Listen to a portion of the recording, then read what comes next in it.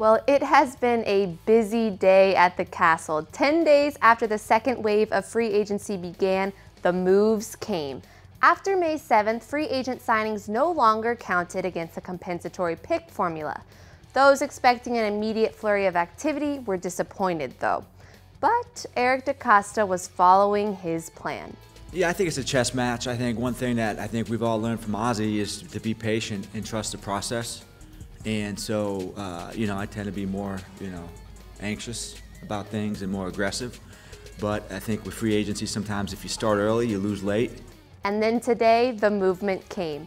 First, the Ravens signed veteran wide receiver Michael Floyd, and then added two pass rushers in former Raven Pernell McPhee and former Bronco Shane Ray. Floyd didn't move far. He spent last season with the Washington Redskins, where he had 10 catches for 100 yards and one touchdown. A former first round pick for the Arizona Cardinals, in his first four seasons, he had at least 45 catches. Baltimore will serve as a reunion for Floyd, who reunites with Cardinals teammate Tony Jefferson and his high school football coach, Ravens assistant tight ends coach Andy Bischoff. Speaking of reunions, Ravens fans will remember the name Pernell McPhee. The linebacker was drafted by the Ravens in 2011 and posted six sacks in his rookie season.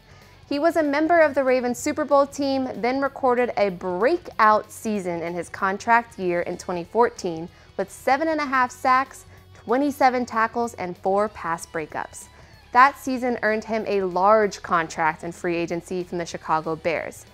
While injuries limited his production in Chicago, Last season, McPhee was able to see the field in 13 games with the Washington Redskins. Shane Ray has also been plagued by injuries, but when healthy, notched 12 sacks in his first two seasons with the Broncos. Pass rush and wide receivers were two areas general manager Eric DeCosta had said he wanted to address this offseason. With the additions of Hollywood Brown, Miles Boykin, and Seth Roberts, as well as undrafted rookie free agents, Floyd is the latest in the complete rework of the position group that will have ample competition this summer during training camp. With the additions of McPhee and Ray, the Ravens also add competition and depth to a group that lost Terrell Suggs and Za'Darius Smith. Now, it's still May, so much remains to be seen, but you have to love an action packed Friday, right? I think we all have earned ourselves a great weekend. We will catch you back on Final Drive on Monday.